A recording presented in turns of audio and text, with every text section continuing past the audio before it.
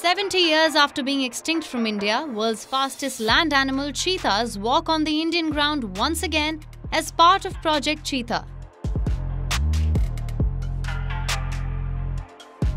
The Cheetah Reintroduction Project is a first of its kind transcontinental mission under which a total of eight Namibian cheetahs are brought back to the Indian territory after being extinct for over 70 years.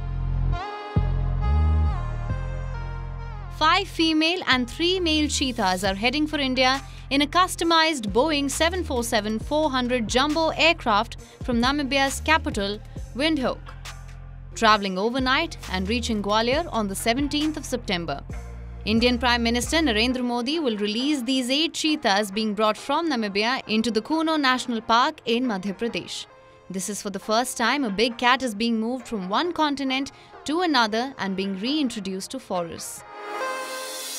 It is believed that the last species of Asiatic cheetah found in India was hunted down by Maharaja Ramanuj Pratap Singh Deo in Chhattisgarh in 1947.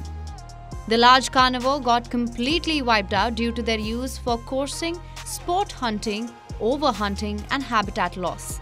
The subspecies of cheetah, namely African cheetah, similar to the Asiatic cheetah, is being introduced in India.